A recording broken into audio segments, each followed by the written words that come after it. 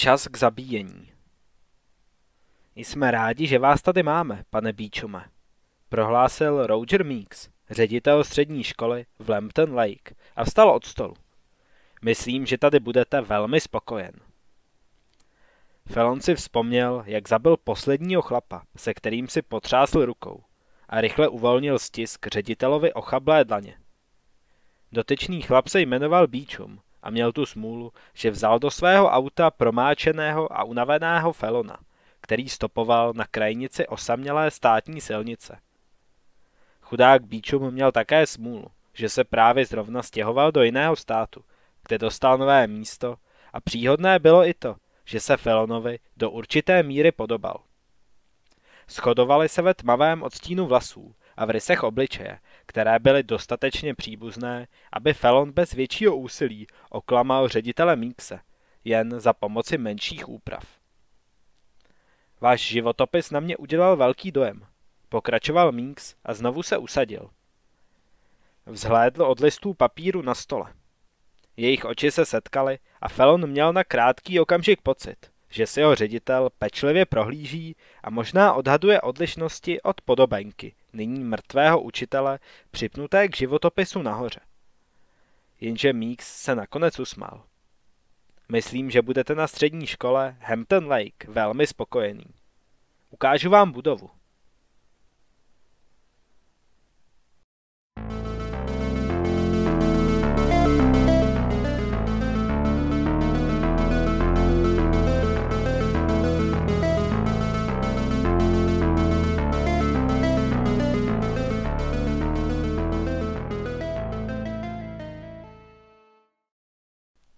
Prohlídka, jak to Meeks označoval, byla pro Felona důležitá. Ačkoliv se v jejím průběhu usmíval a dával si pozor, aby položil všechny správné otázky, ve skutečnosti si ukládal do paměti nejrůznější únikové cesty a skrýše. Nebylo ani stínu pochyb, že po něm jdou jeho bývalí zaměstnavatelé a bylo jisté, že se jim ho nakonec podaří dostihnout. Protože Felon je zklamal. Co horšího, Zachoval se naprosto špatně, protože odpravil ty, kteří za ním byli vysláni, aby za svůj neúspěch zaplatil.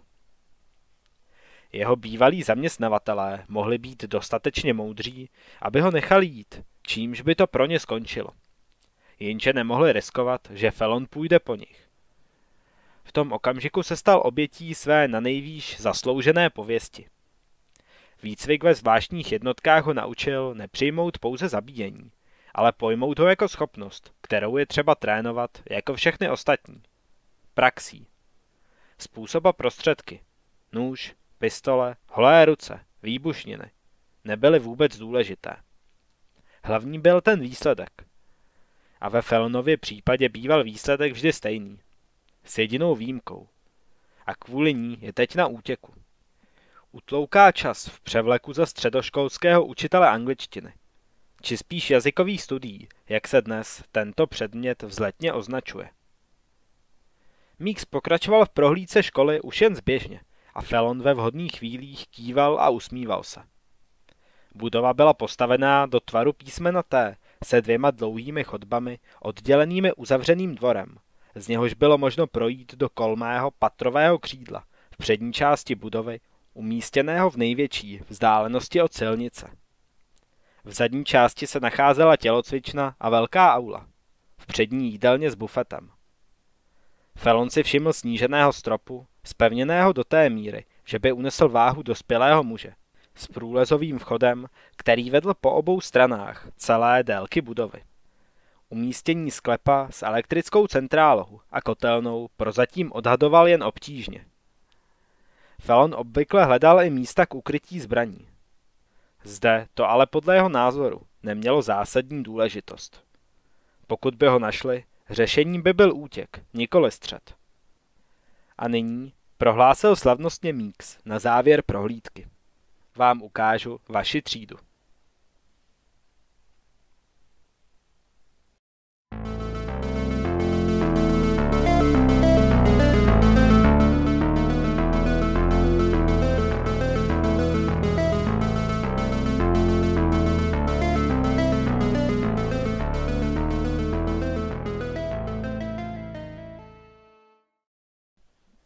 Studenti posledního ročníku angličtiny, tedy jazykových studií, právě dočítali zkrácenou, silně cenzurovanou verzi knihy Hlava 22. Felon si proto ještě toho večera půjčil stejnojmený film. Příliš ho však nepochopil, až na hlavní dějovou linku o válečném pilotovi, který hledá způsob úniku z armády a chce se nechat uznat za blázna, aby už nemusel létat. Felon si pomyslel, že části knihy měly být asi vtipné, ale nesmál se a byl rád, když nastal čas, aby se podle osnov přesunuli k Frankensteinovi. Knihu Felon sice také nečetl, ale viděl film, starou verzi s Borisem Karlofem a usoudil, že je literární verzi dostatečně podobná. Okna jeho třídy měla výhled před budovu a na oválnou příjezdovou silnici, která uzavírala parkoviště užívané učitele i návštěvníky. Felon sice neviděl na hlavní vchod, ale jednoznačně by si všiml jakéhokoliv blížícího se vozidla. Takže koho považujeme v příběhu za zloducha? Zeptal se Felon třídy. Otázky vyvolávaly mezi jeho mladými svěřenci krčení ramen a rychlé pohledy. Neměl pořádnou představu, jak přesně učit, a tak své hodiny vedl prostřednictvím diskuze. Naštěstí nastoupil do části školního roku věnované literatuře a neočekával, že zde setrvá v dalším pololetí. Víc než měsíc na stejném místě byla skutečně lákavá představa. Kdo je tedy zloduch? Naléhal na žáky Felon a opíral se o stůl tak, že na něm napůl seděl. Frankenstein, promluvil ze zadu chlapec jménem Trent. Trent měl splyhlé vlasy a první známky akné. Felon ho měl rád, protože na rozedřené záplatě na zadní kapse jeho džín poznával obrys vystřelovacího nože. Felon pohlédl Trentovi do očí a viděl bezcitnou rezignaci studenou jako kámen. Chlapec podle jeho gusta. Ne ta zrůda, pokračoval Trent, aniž ho musel Felon dále pobízet. Ale doktor. Proč? zeptal se Felon. Protože vydrbal s přírodou. Čas jako by se zastavil. Všichni na Felona šokovaně hleděli. Trent mu ušetřil starosti s úvahami o vhodné reakci, protože pokračoval. A tak zrůda zabíjí všechny ty lidi. Terorizuje vesnici, každý se z ní může podělat strachy. Jenže to vlastně není vinatý zrůdy. Takže ona není zodpovědná za své činy? Provokoval ho Felon. Ten chudák ani pořádně neví, co dělá, kurva. Může za to Frankenstein, že ho přivedl k životu. Jako rodiče vložila se do debaty s vonivým hláskem dívka s rozcuchanými kudrnatými vlasy, jménem Chelsea, mezi mlaskavými zvuky, které vydávala při žvíkání a vyvolala ve třídě krátký výbuch smíchu. Možná o to Šeliové šlo, podotkl kdo si další. Takže zrůda není zlo? Nadnesl otázku Felon. Ne, ozvala se zborová odpověď. Ale taky není dobro. Ne. Tak co vlastně Stejné jako všichni ostatní. Konstatoval Trent s nohama ve vysokých botách na lavici.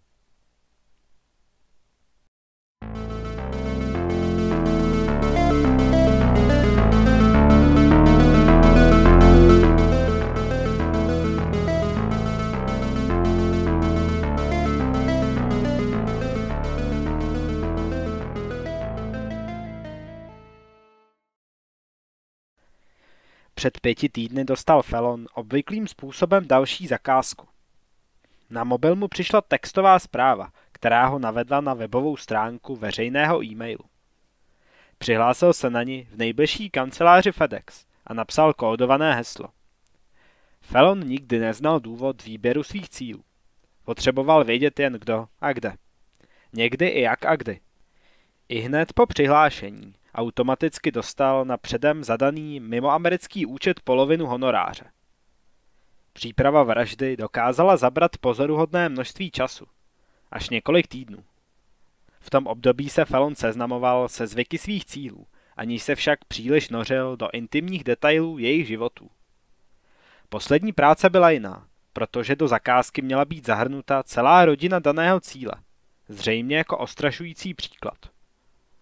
Nemělo cenu o tom diskutovat. I kdyby Felon chtěl, nemohl požádat o potvrzení ani o ujasnění. Ačkoliv fakt, že se rodina jeho cíle skládala z manželky a tří malých dětí, dělal Felonovi vrázky. Neměl jak kontaktovat svého zaměstnavatele, aby změnil názor. Adresa, z níž mu poslali podrobnosti týkající se zadání, byla jen prázdná webová stránka, automaticky deaktivovaná, jakmile se z ní Felon odhlásil. Odmítnout práci nebylo možné, když pouhé přijetí zadání udělalo z Felona ještě bohatšího člověka. Hlava 23 Obložit dům cíle výbušninami bylo dostatečně snadné. Udělat to tak, aby vše vypadalo jako tragická nehoda, bylo jen o maličko těžší. Jediný problém. Musel odpálit nálož sám a manuálně. Což nebyla příjemná vyhlídka, vzhledem k faktu, že dával mnohem víc přednosti tomu, když byl v době, kdy výbuch rozmetá dřevo, beton, těla a krev v rozptylu mnoha metrů, někde jinde. Hodně daleko. Felon nebyl člověkem, který by si kladl otázky nebo si kazil náledu výčitkami svědomí. A raná fáze jeho práce se úspěšně vyvíjela, aniž ho cokoliv z toho postihlo. Muž jako Felon nedokázal považovat lidské bytosti za víc než, řekněme, modely určené protesty autohavárií nebo figuríny z obchodních domů. Představovaly pro něj prostředky sloužící k dosažení cíle, ačkoliv by ten cíl ani nedokázal přesně definovat. Každopádně mu zaručovali dostatek financí pro poklidný důchod. Až na to, že on se do důchodu nechystal. Měl svou práci až příliš hrát. Hlava 24 Jeho poslední úkol se mohl odehrát jako všechny ostatní. Všechno na správném místě a podle plánu. Felon se do písmene držel instrukcí. Ujistil se, že všichni rodinní příslušníci jsou uvnitř, než nálož odpálil. Detonátory byly většinou záležitostí minulosti. Dnes se používaly mobilní telefony. Jednoduchá věc. Připojit čip mobilu na detonátor a pak včas vytočit číslo. Nastane krátká prodleva. Několik vteřin nebo trochu víc, ale to v tomto případě nebyl problém. Felon vytáhl z kapsy mobil na jedno použití a vytočil číslo. Nechal ho jednou zazvonit. Pak se usadil v autě, zaparkovaném v bezpečné vzdálenosti a čekal. V duchu odpočítával vteřiny. Jedna, dvě, tři, pět. Felon poněkud znervózněl. U deset vytočil číslo znovu a nechalo tentokrát zazvonit dvakrát. Znovu odpočítával vteřiny. Stejný výsledek. Nic. Dílčí nezdary nebyly pro Felona ničím novým, ale celkový neúspěch to bylo něco jiného. Nebyl čas přemýšlet, co se zvrtlo. Musel vymyslet, jak to co nejrychleji vše napravit. Felon měl zbraně, spousty zbraní. Jenže vyvraždit celou rodinu na předměstí puškou a nožem, bez jasného plánu přístupu do domu a předem připraveného scénáře, by bylo zoufalým činem, neodpovídajícím profesionálovi jeho úrovně. Co horšího, musel by se uchýlit ke krutosti a výsledek by byl ovlivněn náhodou, nikoli propracovaností plánu. Raději si tedy pořádně promyslí další krok a vrátí se sem zítra. Jenže dotyčný zítřek se zvrtl ještě hůř.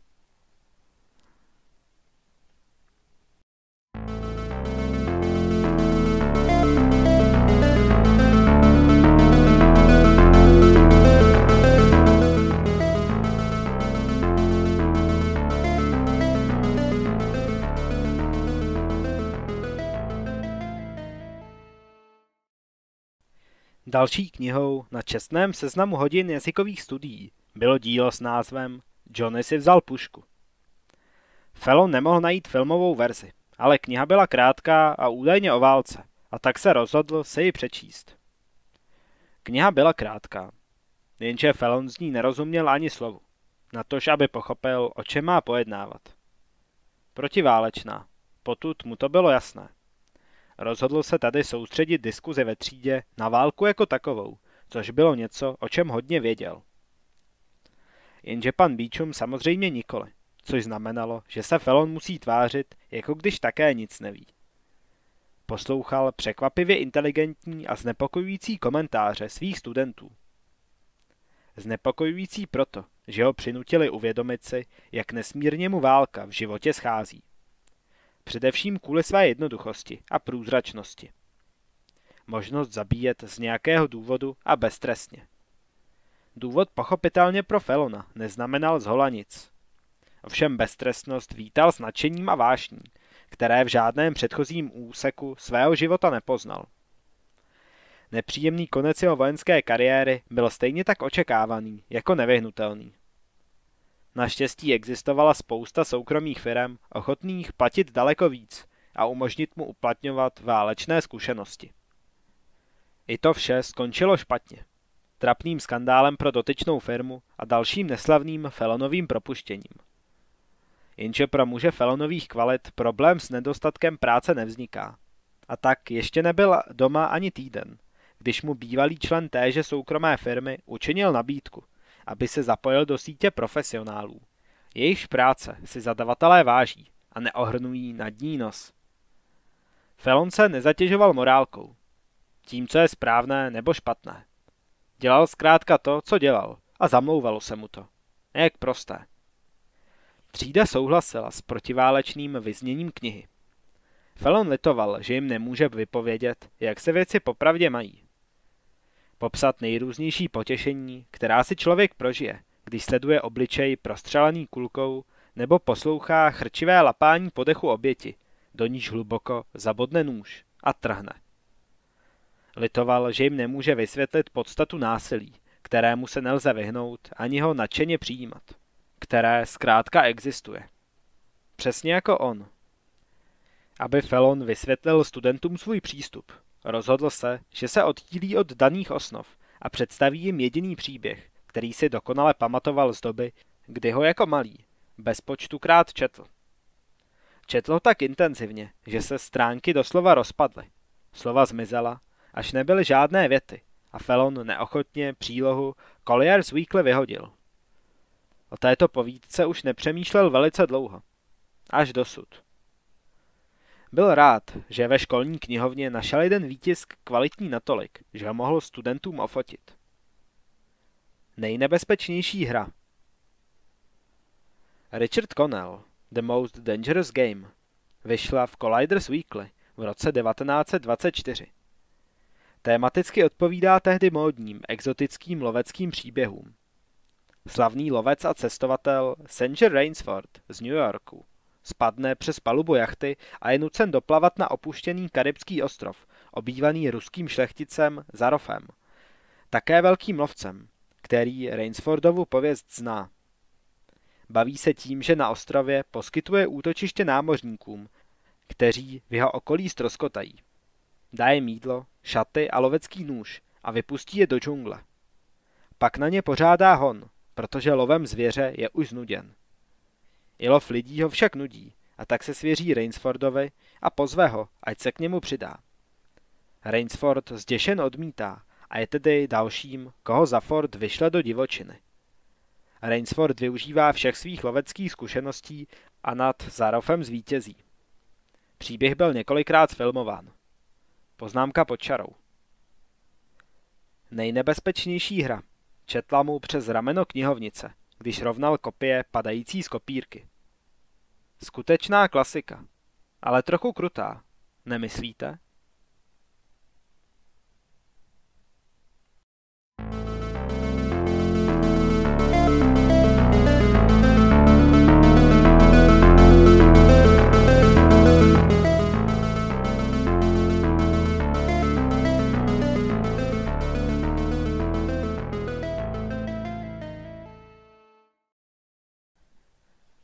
Když se Felon následujícího jitra vrátil, rodina jeho cíle byla pryč. Za svítání odvezli nenápadní muži v černém terénním autě, pokud se dalo věřit sousedům. Nepochybně FBI nebo federální policisté, kteří Felonův cíl uklidili do bezpečí, do programu na ochranu svědků. Felon nikdy předtím nezažil neúspěch, ale ve všem platí míra pravděpodobnosti a v této fázi kariéry si zkrátka svou porci neúspěchu vybral. Přistihl se, jak umanutě uvažuje o každém kroku, který provedl, aby zpětně vystopoval, kde se dopustil chyby. Možná byly špatné dráty, nebo nefunkční čip. Dokonce ho mohl postihnout problém s příjmem nebo vysíláním. Proto byl Felon Zuru v motelovém pokoji, když přijeli. Čtyři. Všichni dobře vyzbrojení a dostatečně vycvičení, aby věděli, že nemají jezdit autem příliš blízko ke dveřím jeho bungalovu. Jenže nechali svítit reflektory auta o vteřinku déle. Dost na to, aby Felon vycítil, že se něco děje. Odhadl vzdálenost podle intenzity světel a znovu počítal vteřiny. Jedna, dvě, tři. Dveře se rozletěly u čísla 6 a Felon rozpoutal kanonádu do posledního detailu srovnatelnou s tím, co připravili jeho čtyři rádoby zabijáci pro něj. Tomu prolétlo hlavou, když se začaly kulky zarývat do stěn a pach krve se mísil se zápachem síry a korditu. Řev ze tří zbraní, které použil, téměř zcela přehrušil křik obětí. Felon se stáhl ze scény dřív, než se rozsvítila další světla v některém ze sousedních pokojů. Velmi rychle si dal dvě a dvě dohromady. Fakt, že se jeho zaměstnavatelé nezastaví u těchto čtyř mužů, obzvláště když je Felon tak snadno a bez většího úsilí odpravil, nebyl o nic významnější než další fakt, že je totiž období jeho práce nájemného vraha ukončeno. V tomto oboru neexistovala možnost nápravy nebo druhá šance. Ve vteřinách, které mu zabralo zastřelení čtyř mužů, přešel od toho úplně nejlepšího, co kdy dělal, k naprosto nezáživnému. Hlava 25 Felon se naštěstí na tento okamžik připravil. Byť nikdy skutečně nepovažoval za možné, že nastane. S penězi problém nebude. Odložil se jich stranou víc než dost. Podstatné bylo bezpečí se k ním dostat. Učinit nutná opatření s odpovídající opatrností. A takové věci vyžadují čas. Mimo jiné to znamenalo zmizet bez použití některé z jeho rozličných identit, protože všechny už mohly být v této chvíli prozrazeny. Jeho zaměstnavatelé a jeho spojky o něm věděli příliš mnoho. O jeho zvyklostech a rutinních činnostech.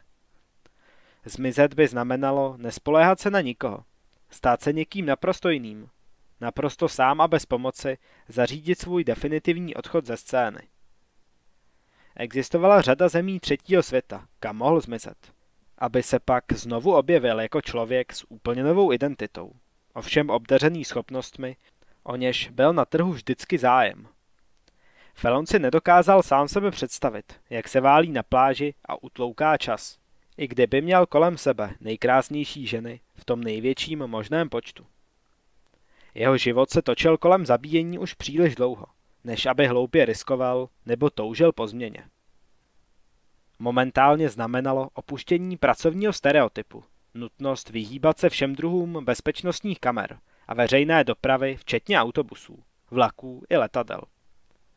Půjčovny aut byly také mimo diskuzi a ukradení tolika aut by zanechalo stopu, čemuž se potřeboval vyhnout. Zbývalo namátkové mávání na auta. Pan Beechum byl pátým řidičem, který mu za týden zastavil. Fallon ostatní řidiče nezabil a neměl v úmyslu zabíjet ani Beechuma, dokud mírně roztržitý muž nezačal nekonečně dlouho nadšeně opěvovat novou práci, kterou právě získal. Tehdy se Fellonovi začal rodit v hlavě plán.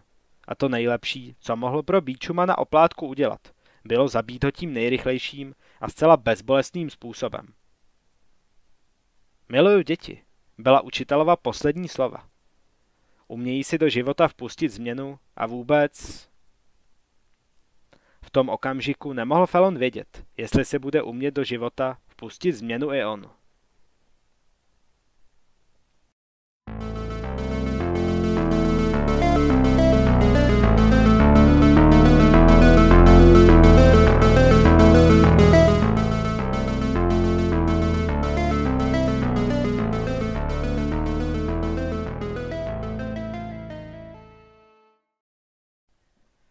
Felon si všiml, jak ke vchodu do školy pomalu přijíždějí dvě dodávky, zrovna ve chvíli, kdy už třetí den s žáky diskutoval o nejnebezpečnější hře.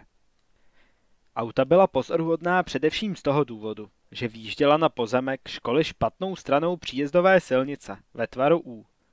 A za druhé proto, že na sobě měla reklamu profesionální úklidové služby. Podobné označení od jakživa umožňovalo bezproblémový přístup do nejrůznějších budov, veřejných i jiných. Ale proč by střední škola s plným stavem uklízeček potřebovala profesionální úklidovou službu? Felonovi se rozbušilo srdce rychleji, když mu dodávky pomalu zmizely ze zorného pole. Dvě dodávky znamenaly tucet mužů, nebo i víc, což by představovalo ze strany jeho bývalých zaměstnavatelů až nadměrnou ničivou sílu. A pokud si zjistili jeho přítomnost zde, v Hampton Lake, udělali by mnohem lépe, kdyby nastražili léčku a ne vtrhli do budovy, když moc dobře vědí, že je určitě připraven k rychlému útěku. To vědomí mu mělo pomoci, aby se cítil lépe. Jenže se lépe necítil. Instinkty už Felonovi zachránili život tolikrát, že se jim naučil bezvýhradně důvěřovat. Momentálně ho škrábali na páteři jako skalpely rozdrácejícímu kůži až do masa.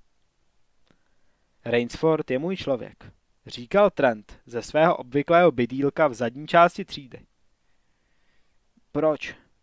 Podařilo se Felonovi ze sebe vymáčknout, aniž dával ve skutečnosti pozor. Očima znovu zalétl k oknu, ale dodávky se neobjevily. Přistoupil blíž ke sklu v naději, že získá lepší zorný úhel. Protože nakopal prdel generálu Zarofovi. A byla to bez tak Zarofova vina, kurva. Proč? zeptal se Felon, kterého to zaujalo bez ohledu na neodbitný varovný pocit, který mu blikal v mozku. Protože hrál tu svou hru moc dlouho. Lovil lidi. Kdo ví, kolik jich dostal. Proč myslíte, že to byla Zarofova vina? Protože měl vědět, že se jednou do podobného souboje dostane. Dřív nebo později. Je to prostě něco nevyhnutelného. Felon odstoupil od okna a náhle chlapci věnoval plnou pozornost. Proč to teda pořád dělal? Hola, ostatní, zkuste se vžít do Zarofovy kůže. Protože nic jiného neuměl, prohlásila dívka v zadní lavici. Nic jiného neznal. Co dál? Byl v tom dobrý. Ozval se kdo si další. Když jste tak dobrý, nikdy vás ani nenapadne, že byste se mohl dočkat porážky. Byl Rainsford v té její hře lepší než generál? Zeptal se třídy Felon. Ne, zavrtěl Trent hlavou. Zarov prohrál, protože už byl línej. Když začnete být línej, prohrajete po každý. Jenže Rainsford to byl hrdina. Proč? Zachránil lidský životy. Životy Zarofových budoucích obětí. Ne všichni hrdinové mají v úmyslu být hrdinové, jestli chápete, co myslím. Prosím všechny o pozornost. Hlas ředitele Míkse zahřímal z amplionů školního rozhlasu. Všichni studenti a učitelé, prosím, schromážděte se i hned v tělocvičně. Opakuji, všichni studenti a učitelé, schromážděte se prosím. Ředitelův hlas byl uprostřed věty přerušen, jako by omylem stiskl nesprávný knoflík. Felon sledoval, jak jeho studenti začínají vstávat ze židlí a přehrával si Míksova slova v hlavě. Ani ne pokud jde o obsah, jako spíš o jejich kadenci. Co se bylo velice v nepořádku, soudě podle tónu a celkového podání. Felon poznal odstín hlasu člověka, jednajícího pod nátlakem, protože nespočet lidí do podobné situace sám dostal. Když začnete být týnej, prohrajete po každý. Ne, prohlásil Felon, ještě než student nejblíže ke dveřím mohl otevřít. Zpátky na místa. Ale běžte zpátky na místa. Přísnost ve Felonově hlase přiměla jeho studenty k návratu do lavic bez dalších otázek. Chodba za dveřmi se plnila studenty vycházejícími z vedlejších tříd. Těžký dusot nohou signalizoval příchod těch, kteří běželi z patrového křídla v přední části budovy. Pane Bíčume? Felon se prudce otočil znovu k oknům. Otvíral se pouze dovnitř a navíc jen ta úplně nahoře, takže poskytovala dostatečnou ventilaci vzduchu, ale nikoli cestu úniku. Pane Bíčume?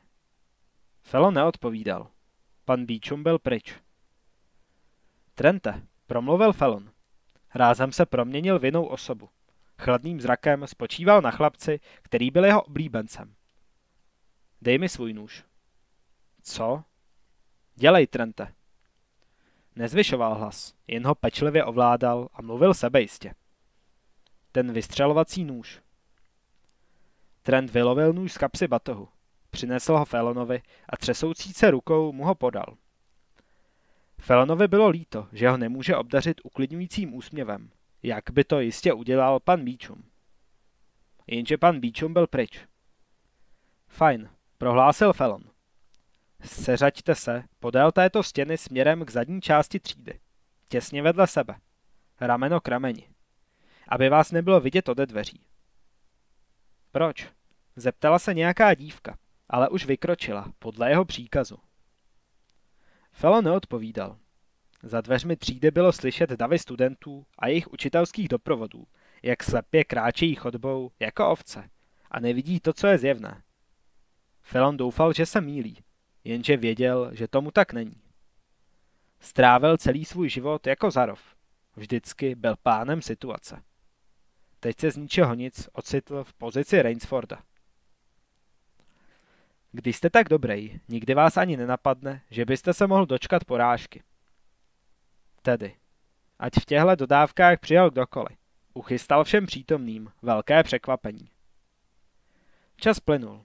Všichni mlčeli a ticho narušovalo jen hlasité oddechování studentů. Nebo možná nebylo tak hlasité.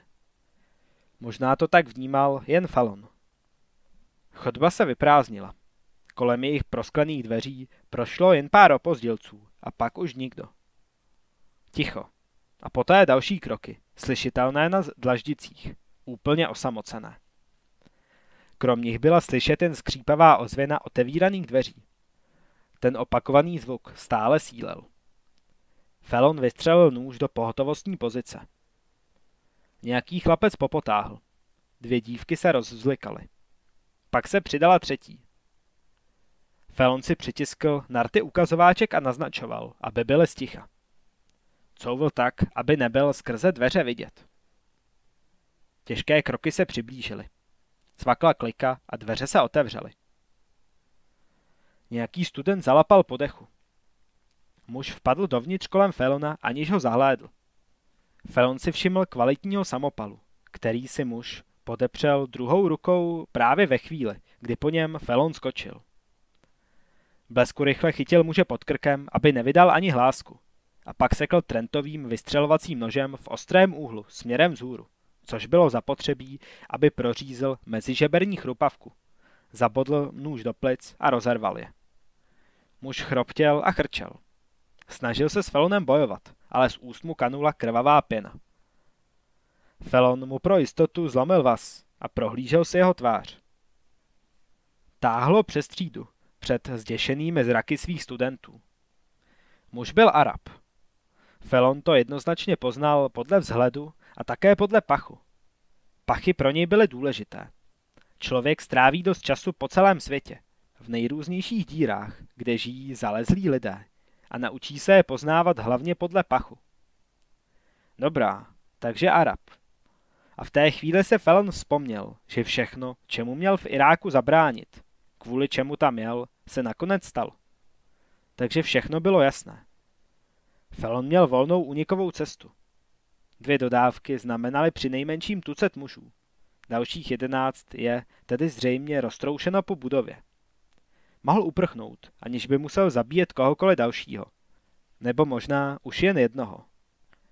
A možná mohl i využít jedno z jejich aut jako únikové vozidlo a zanechat je v tom průšvihu, který měli v úmyslu provést ve škole a s nímž se chtěli předvést celému světu. Bez tak to už jeho svět nebyl. Už ne. Nebo byl? Pohlédl na studenty, kteří se k sobě tiskli těsněji, objímali se a zírali na něj s hrůzou, jako by právě on byl zrůda, kterou stvořil Frankenstein. Nebo jako by byl generál Zarov a bažil polovu na lidi.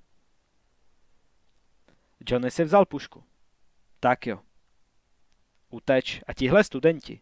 tví studenti, nevyhnutelně skončí v tělocvičně s ostatními. Nebo je stihne exemplární trest za neuposlechnutí rozkazu. Teroristé tohoto typu nebývají příliš originální. Tohle vědomí zažehlo ve Felonově hlavě vzpomínku na čečenské teroristy, kteří obsadili školu podobně šíleným primitivním způsobem. Nahnali studenty do tělocvičny přesně jako tady. Pak tělocvičnu vyhodili do vzduchu a celý svět se jen díval. Není jak originální, ale přesto účinné. Felon se snažil představit si, jak to udělá, kolik mužů je v tělocvičně a kolik hlídkuje a zajišťuje budovy. Usoudil, že čtyři jsou v tělocvičně, osm v budovách. Teď sedm.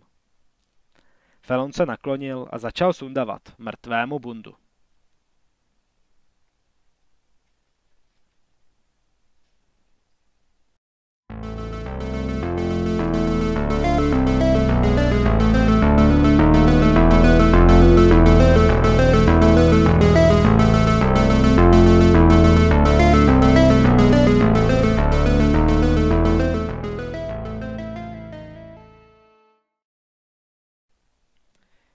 Potřebuju, abyste všichni zůstali tady, přikázal Felon studentům. Buďte stichá a počkejte, dokud se pro vás nevrátím. Dívali se na něho jako na cizince, kterým se stal ještě dřív, než si oblékl teroristovu bundu a uvázal si jeho šátek kolem hlavy. Poté nadspal nohy do bagančat mrtvého a stáhl mu z ramen samopal. Stačilo, aby se za mrtvého mohlo z rozumné vzdálenosti vydávat což bylo nejlepší, v co mohl doufat. Únosci letadel z 11. září se všichni nikdy nesetkali, ale tento druh operace byl jiný. Vyžadoval praxi a synchronizaci. Určitě znají budovy školy stejně dobře jako on. Každý prostor, kudy se dá prolézt. Každý kout, každou štěrbinu. Rozdíl tkvěl pochopitelně v tom, že on o teroristech v prostorách školy věděl, zatímco oni o něm neměli ani tušení. Počkejte, dokud se pro vás nevrátím. Proč to říkal? Felonovi ta otázka vrtala hlavou, jakmile se ocitl v chodbě. Dával si pozor, aby nechal dveře třídy otevřené, stejně jako byly všechny ostatní. Bylo by teď pro něj snadné utéct ze školy dřív, než dojde k nevyhnutelnému příjezdu policie na místo činu. Na nic podobného už ale vůbec nemyslel. Vždyť měl před sebou tak skvělou výzvu. Novou, báječnou hru. Jenže byl za Rofem nebo Rainsfordem. Budova školy byla zvláštně tichá, až na hluk vycházející z tělocvičny. Do níž se nyní natěsnalo na 700 studentů. Felon se snažil vzpomenout si na všechny podrobnosti obsazení čečenské školy teroristy. Ti vyčkávali, až přijede policie. Hezky si počkali na představitele státní zprávy, aby je vyprovokovali k nezdařenému zákroku. A teprve pak odpálili nálože, které pozabíjely stovky lidí. Zde to bude podobné. Strategie je zaměřená na upoutání co největší pozornosti. 24-hodinové zpravodajství na všech televizních kanálech po několik dní, než se stane celá země svědkem masové vraždy, v hlavním vysílacím čase. Felon si dával dobrý pozor, aby skryl svá úctyhodně široká ramena do teroristovovy beztvárné, nyní zakrvácené bundy. Šátek mrtvého si uvázal jako čelenku, těsně nad oči a doufal, že kryje odlišné rysy jeho obličeje i barvu vlasů. Stačilo jen zachovat si dostatečný odstup. Ani si nezapomněl od mrtvého vzít vysílačku jednoduchý vojenský přístroj. Připnul se ji na opasek a vyrazil chodbou tak, jak by to udělal mrtvý terorista, kdyby mohl vrátit čas. V přední části chodby, právě když měl ředitelnu přímo po levici a křídlo s laboratořemi po pravici, zahlédl Felon dalšího teroristu, jak spěchá od hlavního vchodu a cinká řetězy, jimiž chce uzavřít vchody. Této chvíli budou všechny důležité dveře zajištěny řetězem, zámkem i rozbuškami, aby jimi nemohl nikdo uprchnout zevnitř ani do nich vniknout zvenčí. Felon měl muže na mužce. Nic mu nestálo v cestě, ale rozhodl se vyčkat, dokud se neujistí, že v blízkosti nejsou další teroristé. Namísto toho poměrně hlasitě dupal, aby byl slyšet.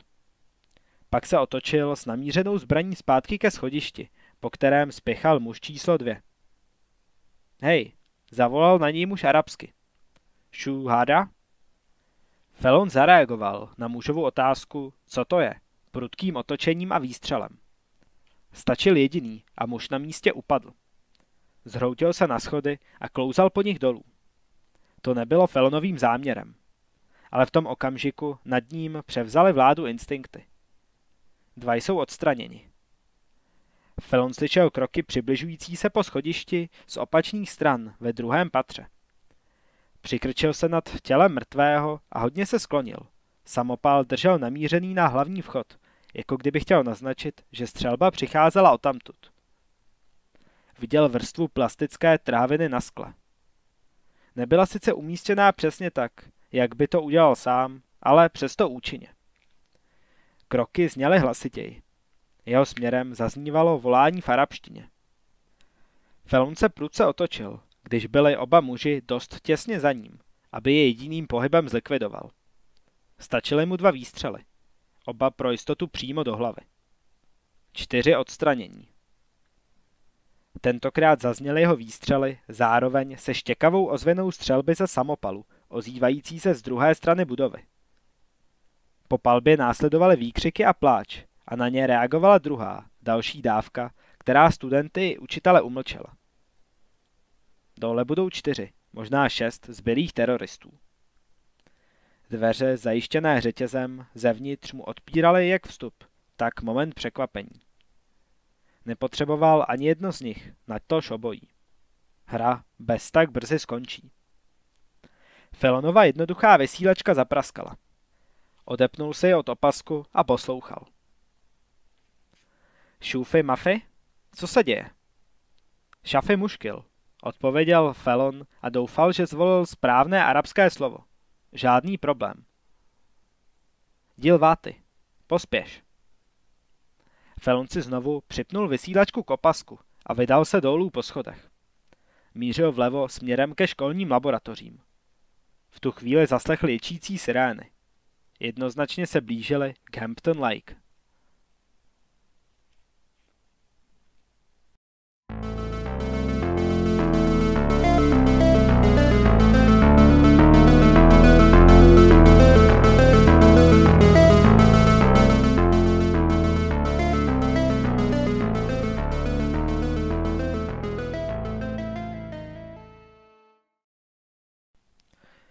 Studenti nejvyššího ročníku oboru jazyků se seřadili do dvojic. Felon čel vzadu.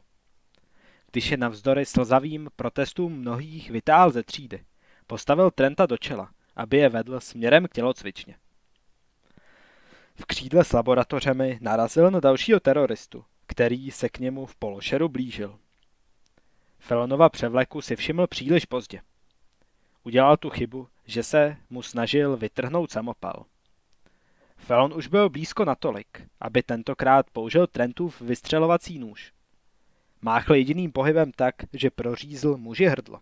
Kvůli tichosti i kvůli jistotě.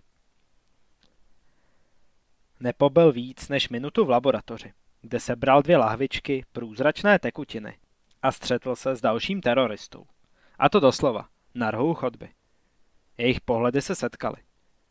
Terorista vytřeštil oči a Flen s ledovým klidem vymrštil ruce vpřed a zatlačil palce muži do očí tak, že mu je zamáčkl do mozku, čímž mu způsobil smrt v křečích. Šest odstraněno. Pak se rychle rozběhl zpět do třídy, aby provedl poslední fázi svého plánu. Studenti byli vyděšení a zmatení, což se mu hodilo. Vedle je chodbou k tělocvičně a předstíral, že je pohání samopalem. Každé ruce skrýval uzavřenou láhvičku s tekutinou. Asi po 30 metrech si ho všimla dvojice teroristů střežící vchod do budovy, zajištěný výbušninou a zamířila těsně podél zdi, jeho směrem. Oba muži na něj křičeli povely, které Felon ignoroval. Přiblížili se k pochodujícímu stádečku a když byli natolik blízko, aby si uvědomili, že tady něco nehraje, Felon otevřel lahvičky a chrstl jim do tváře kyselinu. Nepodařilo se mu zamířit úplně přesně ale trefil se dostatečně dobře na to, aby oba i hned vymrštili ruce k obličeji, k popáleným očím. Felon je zastřelil rychlou dávkou. V zápětí už strkal své šokované studenty dál a pobízel je k rychlejšímu tempu. Prosklenými dveřmi a stěnou zahlédl venku dlouhý konvoj policejních vozidel a televizních přenosových vozů, ale pokračoval se svými svěřenci směrem ke vchodu do tělocvičny, zajištěnému řetězem. Přesunul se do čela skupinky zdánlivých opozdělců, kterou přivedl, zabušil na dveře a pak rychle uskočil s namířenou zbraní. Otevřete, rychle. Ječel arabsky a předstíral zoufalství v hlase. Jsou v budově. Řetězy zařinčely. Věznitelé odstraňovali zámky i výbušniny. Obě křídla otevřel spocený muž, z jehož všech pórů čpěl česnek. Felon začal střílet s vědomím, že se bude nejspíš muset obětovat pár nevinných životů, aby završil poslední krok svého poslání. Zabil tři teroristy u dveří, teprve pak přesunul pozornost k tomu, kdo otevřel, protože ten měl příliš plné ruce, než aby rychle sáhl po zbrani. Muž ještě ani nedopadl na zem, když se Felon otočil na stranu a hledal jakýkoliv pohyb místnosti. Střílel na všechno, co se hýbalo jako kdyby hrál na starém hospodském automatu.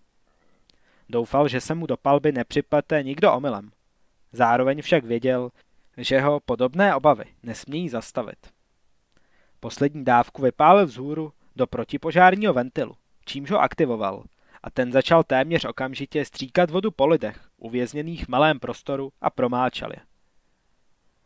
Samopal zacvakal na prázdno Felon se otočil, aby sebral zbraň jednomu z mrtvých, když k němu přistoupil vyhrtlý vousatý muž a ukazoval mu detonátor v kufříku. Přitom pořádnil arabsky. Mašalách, mašalách. Felon popadl do dlaně Trentův vystřelovací nůž a stiskl tlačítko, aby se objevila čepel. Mašalách, mašalách. Mužovi rozcuchané vlasy se proměnily v promočený uchvalec který se mu lepil na obličej a zdálo se, že mu plynule prorůstá do vousů. Mašalách. Felon pruce vyrazil proti muži, až nůž zasvištěl vzduchem. Čepal se zabodla poslednímu teroristovi do oka a Felony nechal proniknout hluboko až do mozku. Muž upadl na podlahu. Detonátor mu s rámusem vypadl z ruky. 14 odstraněno. Pomyslel si Felon a uvědomil si, že jeho prvotní odhad byl přesný. Vzhlédl a nechal si omít obličej s prškou stříkající vody.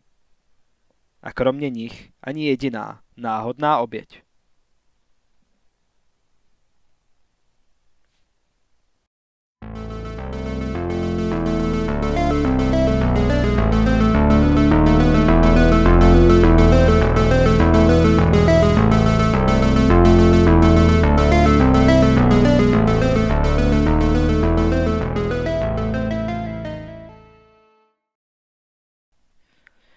Felon vyšel z klapecké šatny v uniformě a helmě příslušníka speciálních jednotek, které sem přijeli, aby místo zajistili.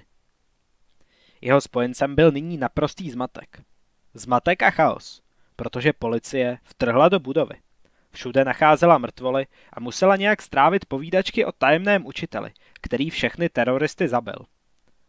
Nejdřív jim nebudou věřit.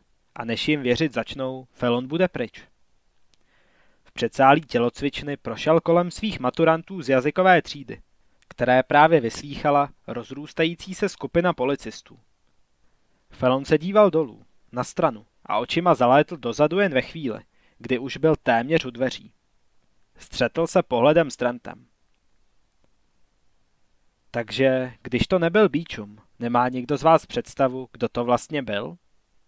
Vyptával se zrovna Felonových studentů, policista v civilu. Rainsford, odpověděl Trent a stále neochvějně upíral pohled do Felonových očí, zastíněných helmou speciálních jednotek. Jmenoval se Rainsford.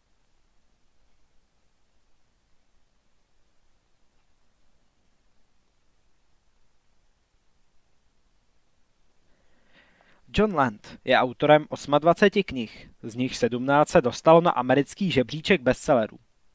Časopis RT Reviews mu v roce 2009 udělil zvláštní cenu za celoživotní dílo, za to, že je průkopníkem v žánrové beletry. Román The Seven Sins se dostal mezi pětici nejlepších thrillerů roku 2008, které vybírá Library Journal. A Moritz Bormann, Terminator Salvation, si ho vybral pro sfilmování. Johnova poslední série, kterou zahájil v roce 2009 románem Strong Enough to Die, po němž následoval v roce 2010 román Strong Justice. Má jako hlavní hrdinku Kathleen Strongovou, příslušnici texaských rangerů. Společnost Handpicked Films si vybrala román Strong Enough to Die pro filmové zpracování, režírované Karlem Franklinem. Devil in the Blue Dress, Out of Time, One False Move. S tím, že scénář napíše sám John.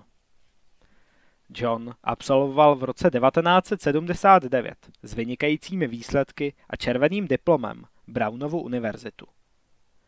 Momentálně je zástupcem marketingového ředitele Mezinárodní organizace autorů thrillerů ITV a žije v Providence na Rhode Islandu. O této povídce napsal. Čas k zabíjení mi nabídl příležitost napsat povídku, která je návratem do dní drsného žánru noir. Vždycky jsem chtěl psát z hlediska temného hrdiny a pojetí ryby na suchu. Člověka v prostředí, kterému není vlastní. V tomto případě profesionálního zabijáka, skrývajícího se pod identitou středoškolského učitele, mě od prvopočátku zaujalo. Skutečnou zábavou pro mě bylo sledovat v povídce Felona, jak přijme svou roli a jak čelí morálnímu dilematu. Když školu obsadí teroristé a ze všech přítomných se náhle stanou rukojmí. Nápad jsem dostal podle skutečné tragédie, k níž došlo před několika lety v Čečensku. Jenže na psaní napínavých příběhů je jedna skvělá věc. Můžete vymyslet jinou skutečnost a přijít s libovolným závěrem.